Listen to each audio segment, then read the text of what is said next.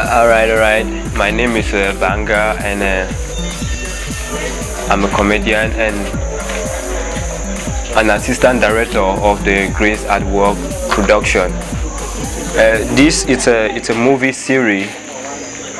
Yeah, it's a movie series we are acting, and uh, I played uh, the role of Nico, the the the most the hunger person and uh, the the most funniest person. Actually, I'm just all of them. And uh, follow this movie, you will witness a lot. It gives you so much joy, fun, and and life teachings also. So if you want to catch more, just subscribe to our channel on YouTube, Grace at Work Production, on Facebook, Grace at Work Production, and catch more as we continue giving you more. Thank you. They're all.